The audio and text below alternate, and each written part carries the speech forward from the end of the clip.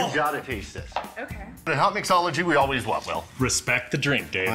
Did you have to read it or you no, knew it? I knew it.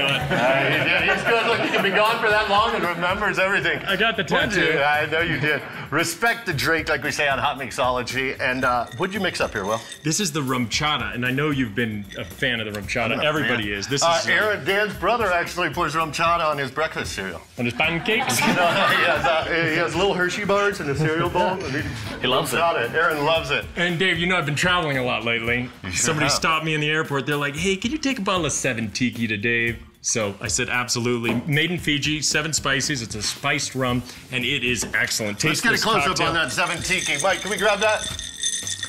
Seven tiki. You know, I have tiki torches outside, and I think I had. I want you I think I to. have seven actually.